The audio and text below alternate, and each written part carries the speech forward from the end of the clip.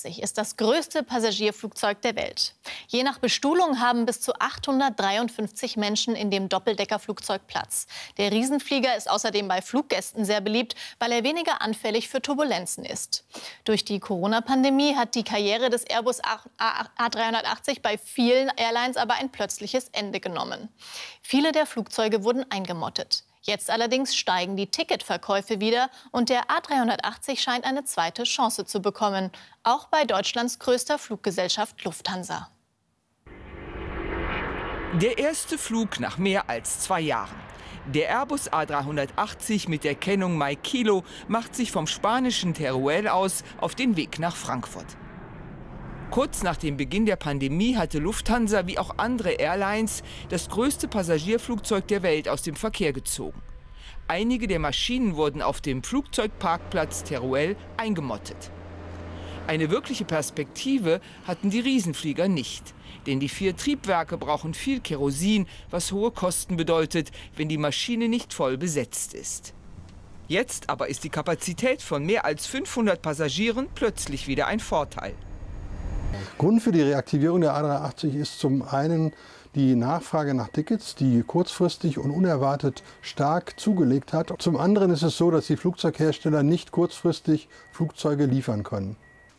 Einfach einsteigen und losfliegen, das aber geht so einfach nicht. Zuerst müssen die Maschinen ausgepackt und wieder fit für den Flugbetrieb gemacht werden. Außen wie innen.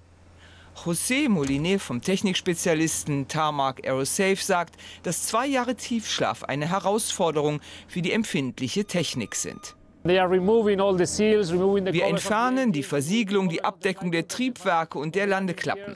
Wir nehmen die Versiegelung der Türen wieder heraus. Das sind 2500 Stunden Arbeit für uns. 40 Leute haben damit vier Wochen lang zu tun.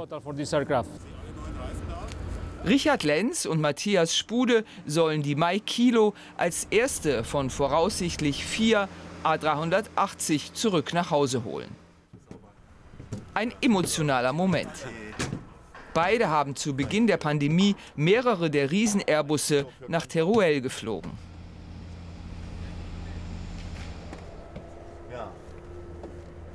Mein Kilo, da bin ich wieder. Die Passagiere, sagen die beiden Flugkapitäne, lieben diesen Flugzeugtyp. Dass die A380 jetzt noch eine zweite Chance bekommt, sei aber auch für Piloten und Kabinencrews etwas Besonderes. Naja, hierher zu kommen, das war durchwegs eine traurige Geschichte. Ich hatte tatsächlich einen Kloß im Hals, als wir das Flugzeug hier abgestellt haben. Es war alles sehr viel, äh, naja, fast deprimierend. Wirklich Friedhofsatmosphäre so ein bisschen. Heute ist viel los hier, es wird viel an den Flugzeugen gearbeitet. Wir sind bestimmt nicht die Einzigen, die das Flugzeug hier wieder abholen und das ist eine tolle Stimmung hier. Damit die A380 zum Sommerflugplan täglich nach Nordamerika fliegen können, müssen jetzt noch Cockpit-Crews geschult werden. Denn nach zweieinhalb Jahren Pandemie haben bei Lufthansa nur noch zwölf Piloten eine Lizenz für den Riesenflieger. Mit Luftfahrtexperte Andreas Speth will ich über die Rückkehr der A380 sprechen. Der Riesenflieger, der anscheinend bei seinen Piloten große Emotionen auslöst. Herr Speth, acht Airbus A380 gehören noch zur Flotte von Lufthansa. Was erhofft sich Lufthansa von der Rückkehr des Riesenfliegers? Sie erhofft sich vor allen Dingen, dass sie die Nachfrage befriedigen kann, die eben jetzt wieder recht plötzlich sehr groß geworden ist nach Flugtickets. Wir haben im Moment zuletzt etwa 80 Prozent des Vor-Pandemie-Niveaus wieder gesehen. Und dafür reichte jetzt die noch vorhandene Flotte nicht aus. Und außerdem ist Lufthansa im Moment in einem Engpass, weil Boeing neue Maschinen, die eigentlich längst hätten da sein sollen, große Flugzeuge, nicht liefern kann rechtzeitig, sondern erst in drei Jahren geliefert kann. Insofern ist sozusagen die A380 jetzt sehr willkommen, sozusagen, um diese Lücke zu überbrücken. Warum dauert es denn so lange? Wir haben das im Beitrag gehört, vier Wochen, um ein A380 wieder flugfähig zu machen. Ja, das dauert sogar eigentlich noch viel länger, weil jetzt äh, wissen wir also noch, die Maschine ist jetzt ja die erste, ist bereits wieder in Frankfurt, da wird sie im Moment noch gewartet und dann wird sie noch einige Wochen bis Monate nach Manila geschickt als nächstes zur wirklich massiven und sehr tiefgehenden Überholung. Ähm, muss ich eben überlegen, dass das Flugzeug hat wirklich zweieinhalb Jahre am Boden gestanden. Dafür ist ein Flugzeug ja nicht gemacht, um am Boden zu stehen, sondern es ist gemacht, um zu fliegen. Das heißt, es mussten sehr viele Systeme deaktiviert werden. Das reicht wirklich von Software bis hin zu Rudern, die blockiert waren, Reifen, die sozusagen nur ganz minimal ab und zu gedreht wurden, damit ein bisschen die Luft eben nicht, also die Reifen nicht platt stehen sozusagen.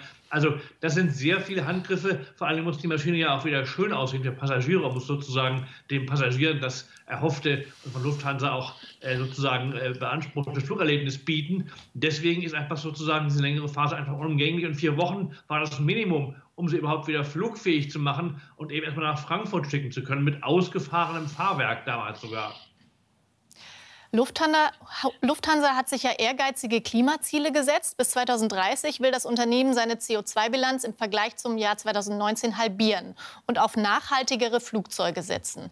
Da passt der Kerosinfresser A380 auf den ersten Blick ja nicht ganz rein. Also zum einen ist natürlich die A380 nicht Teil der Lufthansa-Zukunftsstrategie, sondern das ist halt die Boeing 777-9, das neue, größte gebaute Verkehrsflugzeug, was eben aber Boeing im Moment noch nicht liefern kann. Das heißt, bis dahin wird die A380 erstmal diese Lücke füllen müssen. Aber ganz ehrlich, wenn die A380 voll wird, Lufthansa hat 509 Plätze an Bord, dann ist sie durchaus auch nachhaltig, weil dann einfach der Verbrauch pro Passagier doch sehr gering ist im Vergleich zu anderen Flugzeugen, weil halt so viele Passagiere sich quasi äh, diesen riesen Tank, das Tankvolumen an Sprit sozusagen teilen. Problem ist eben nur, wenn die Flüge halb leer sind, ähm, dann ist es in der Tat nicht nachhaltig. Und hier wird eben auch Lufthansa gefordert, dann sozusagen die Balance beim Verkauf der Tickets so zu steuern und auch die Routenplanung der A380, dass die Maschinen möglichst voll sind. Und dann kann man sie auch durchaus noch einige Jahre auch nachhaltig betreiben. Andreas Speth, vielen lieben Dank für Ihre Einschätzungen. Gerne.